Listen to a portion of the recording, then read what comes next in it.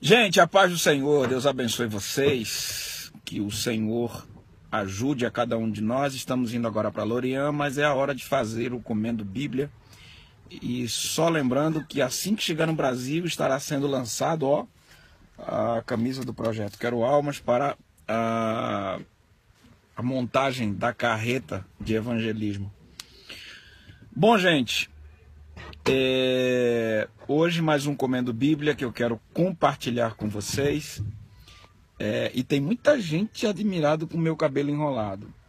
Gente, isso aqui é meu cabelo que é assim. o meu cabelo escovado é o cabelo falso, esse aqui é o verdadeiro. Bom, eu quero compartilhar com vocês sobre algo chamado peso. Eu gostaria que você prestasse mais atenção na palavra do que nos detalhes que, que... preste bem atenção. Paulo, Paulo teve um encontro com Jesus no meio do caminho. E por Paulo ter uma, uma carga muito grande de, de, de, de estudos, de, de tanta coisa, ser um filósofo e tal, Todo mundo pensou que Paulo ia ser obreiro assim, ó. Tanto que levaram Paulo para Jerusalém. E Pedro diz: Não, não quero não. Paulo volta e passa cerca de 15 anos em Damasco construindo tendas. E se você der uma analisada, mesmas, as mesmas coisas aconteceram em tempos diferentes com Moisés. Moisés foi criado em toda pompa do, do, do, do, do Egito, estudando nas melhores escolas e tal. Mas passa 40 anos no deserto para poder ser o famoso libertador do povo de Deus. Isso isso me dá uma grande preocupação.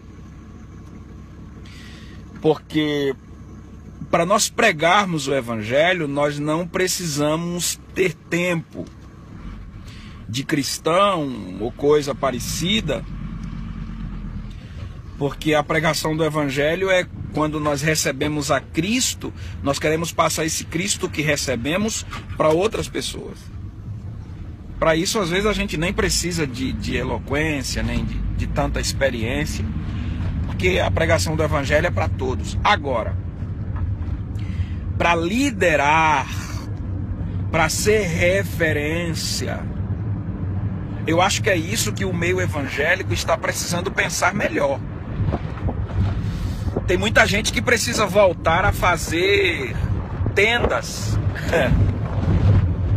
Porque estão vindo do jeito que vem e a gente fica nessa história que porque tem um testemunho forte, porque tem uma carga horária aí de intelectualidade alta, a gente cede os nossos púlpitos e já coloca essas pessoas como líder, seja de louvor, seja da palavra, Ninguém quer passar mais o tempo no deserto cuidando de ovelhas e ouvir a voz de Deus na sassa. Se bem que voz de Deus para esse tipo de coisa hoje tá bem complicado, né? As pessoas hoje viram líder pelo carro que tem, pela empresa que tem, pelo status que tem. Então, é bem complicado isso hoje.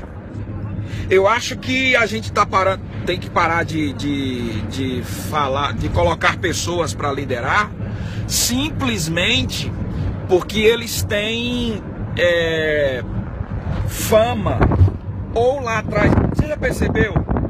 Nada contra, nada contra, mas a maioria, a maioria das pessoas que fizeram sucesso no meio gospel é porque tem um testemunho forte É, simplesmente porque a pessoa chega na igreja e já diz: Olha, eu sou um ex-traficante, eu, eu, eu bebi muito, eu, eu, eu, me prostituí, eu fiz uma bagaceira e hoje eu sou gospel, hoje eu sou crente, é, eu agora sou cantor, eu agora sou. Nada contra, nada contra. Glória a Deus por isso, Jesus está salvando muita gente. Mas eu acho que tem gente que precisa ir para detrás do deserto para ganhar peso, para ganhar experiência, para não conversar besteira em cima dos nossos púlpitos e encher a cabeça do nosso povo de coisas que nem na Bíblia tá. Eu acho que nós precisamos pensar melhor. Porque daqui a pouco vai precisar dos nossos jovens se desviar, fumar uma, uma maconha braba, fumar um, cheirar uma, uma cocaína valente para voltar para ter um testemunho forte para que ele seja bem aplaudido no nosso meio. Nós temos pessoas que estão dentro das nossas igrejas que têm experiência, que são homens de Deus, que têm uma vida de oração, mas não têm oportunidade sequer de dizer amém. Por quê? Porque não tem um testemunho forte. Quer saber meu testemunho?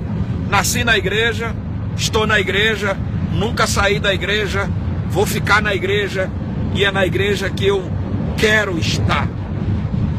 Esse é o testemunho mais forte que eu tenho. Eu não preciso de um testemunho que vá, oh, não, Senhor. Eu só preciso ter experiência com Deus. Nem que para isso eu passe 15 anos fazendo tendas ou cuidando de ovelhas por detrás do deserto. É isso que nós precisamos. Evangelho de peso. Colocar líderes que têm alguma coisa para nós. E não blá, blá, blá, blá, blá, simplesmente porque é ou deixou de ser alguma coisa na sociedade. No nosso meio, nós estamos precisando de gente que tenha palavras de peso. Amém. É isso que nós precisamos. Deus abençoe sua vida. Compartilhe esse vídeo. É um vídeo que muitos líderes precisam ouvir para depois não se arrepender de ter colocado pessoas sem experiência alguma para liderar alguma coisa no nosso meio. Deus abençoe sua vida. Forte abraço. A gente se fala. Comendo Bíblia no caminho.